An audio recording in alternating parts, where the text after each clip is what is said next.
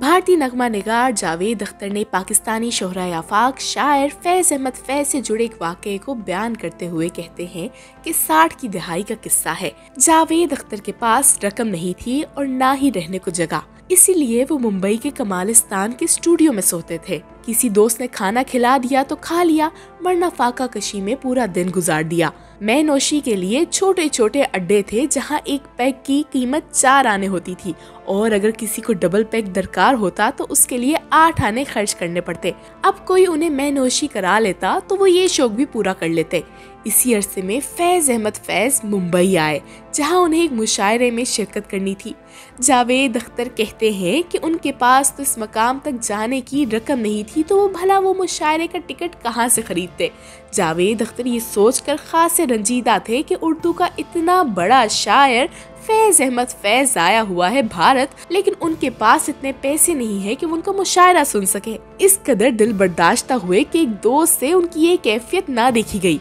जब ही उसने पेशकश की कि जावेद अख्तर उनके साथ चले, ताकि वो सस्ती शराब पिलाकर उनका गम थोड़ा सा हल्का कर दें। वो और दोस्त काफ़ी देर तक पीते रहे और रात खासी बीत गई।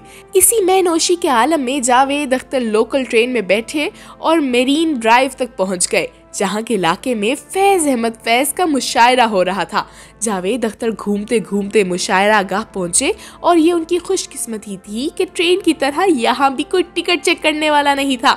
जावेद अख्तर ने इस कदर मैं नोशी कर रखी थी कि वो स्टेज पर जो शायर पढ़ रहे थे, उनकी उन्हें समझ भी नहीं आ रही थी। जब भी वो झुला कर मुशायरा गाह के कोने से सीधा सीधा चलते हुए उस जगह पहुँच गए जहाँ शोराय कराम बैठे थे। गाँव तकिए पर सर रखकर वो ऐसे मदहोश हुए कि नींद की वादी में चले गए और जब आँख खुली तो उन्हें मालूम हुआ कि मुशायरा तो कब का खत्म हो चुका है। नशा हल्का सा उतर चुका था। आँखें मल कर देखा तो सामने फैज साहब और उनके परिस्तार थे, जो उन्हें चारों तरफ़ से घेरे हुए थे, जबकि फैज साहब अपनी गाड़ी की तरफ़ जा रहे थे। अब ऐसे में फैज साहब के चेहरे पर परेशानी आया थी, जो हजूम से तंग नज़र आ रहे थे।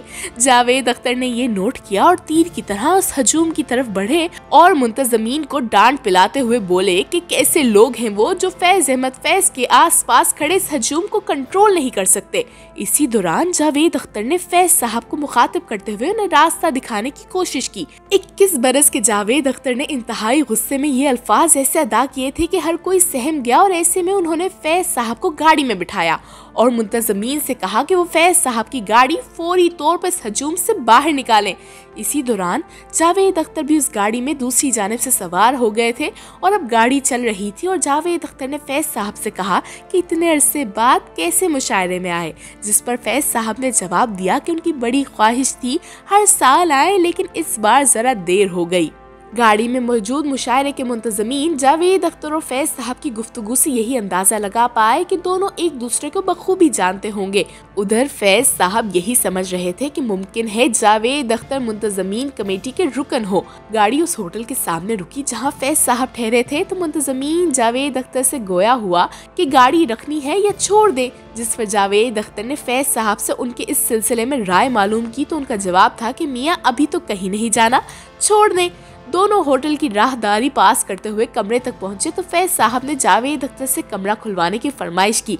कमरे में विस्की बोतल थी, जिसके लिए बर्फ़ का ऑर्डर दिया गया।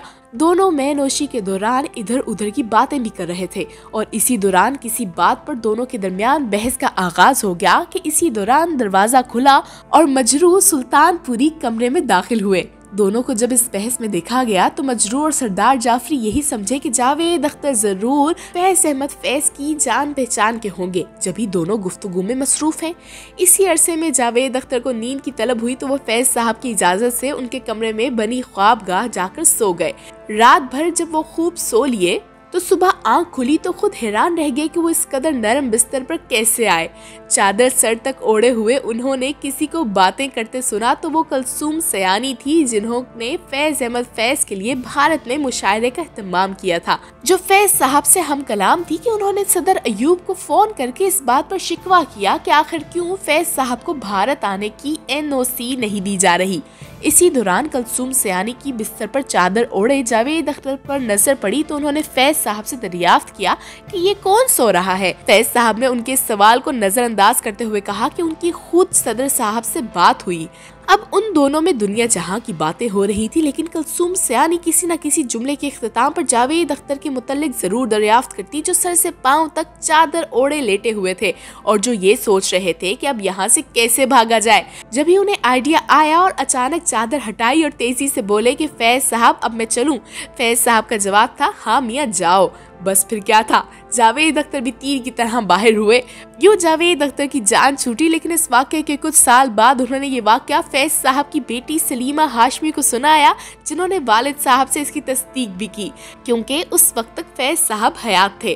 फैज साहब का जवाब था कि हाँ ऐसा वाक्य ज़रूर हुआ था, लेकिन मैं उसे पहचान गया था नौजवान को। जावेद अख्तर का दावा है कि फैज साहब ऐसे ही दिल रखने के लिए ये कह रहे थे, वो उन्हें बेचाने नहीं थे, बल्कि मुंतजमीन के धोखे में आकर होटल रूम तक ले आए थे। तो जनाब, इसके बारे में आपकी क्या राय है? हमें कमेंट्स में बताएँ और वीडियो को लाइक और शेयर भी ज़रूर करें।